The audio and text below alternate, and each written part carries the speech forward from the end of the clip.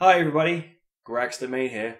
Shortly after uploading my video review for the Animotion Werewolf mask, I got a, a request by a YouTuber asking me to put on the werewolf mask itself and to actually show them how to put the mask on, to which I'm more than happy to oblige. Now for everyone who hasn't seen my YouTube video for the Animotion Werewolf mask review of this little beauty right here, click on the annotation which will be roughly around its head Watch the video and then you'll be able to see what on earth I'm talking about. And it might even convince you to buy one of these things if you get the chance. Now, for everybody else, let's get to it. So, how does this mask work?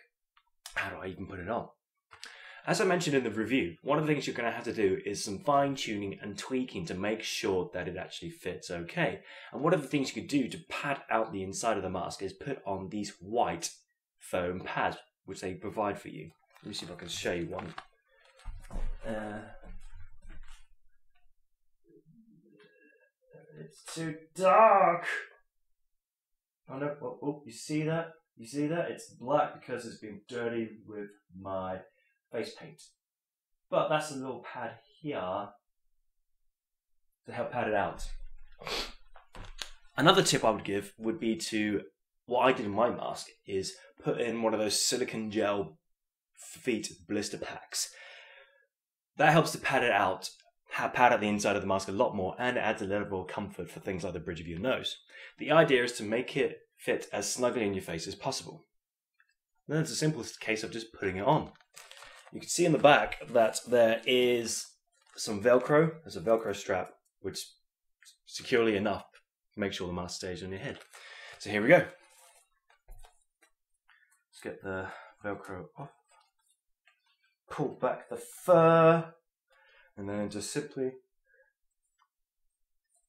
slip on the mask to your head. Hmm.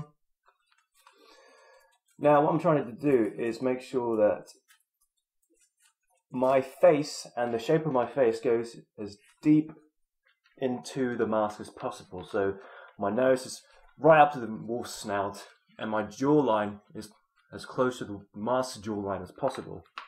Make sure it's nice and tight and snug as a bug in a rug. And then I'll just tighten up the Velcro at the back of my head. Velcro straps secure there.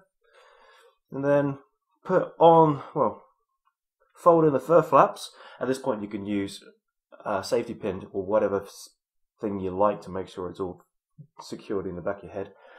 And that's it. The mask is on and you open your jaw, push the your jaw down with the mouth's jaw to, to hinge open. Ah. And that's it.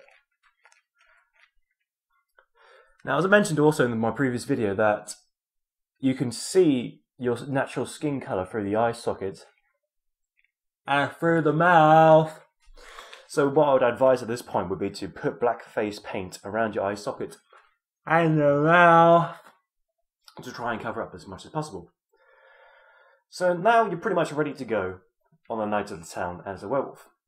One extra option would be to be obscenely hairy. Yeah! Now we're talking serious business. It also helps to have obscenely hairy feet.